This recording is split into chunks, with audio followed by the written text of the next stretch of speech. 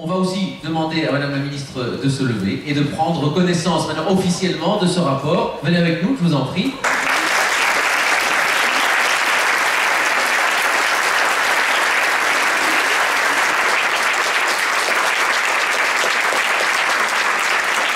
Je dois dire que je suis très heureuse parce que j'avais fait confiance à, un groupe de la société civile composé de néerlandophones et de francophones de matière paritaire, de gens euh, aux origines et aux convictions euh, religieuses totalement euh, différentes ou philosophiques.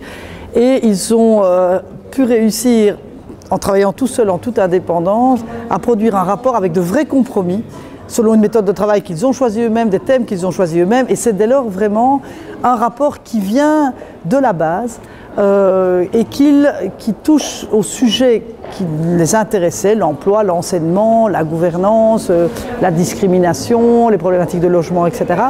Et qui, allez, quelque part, arbitre leurs différentes sensibilités.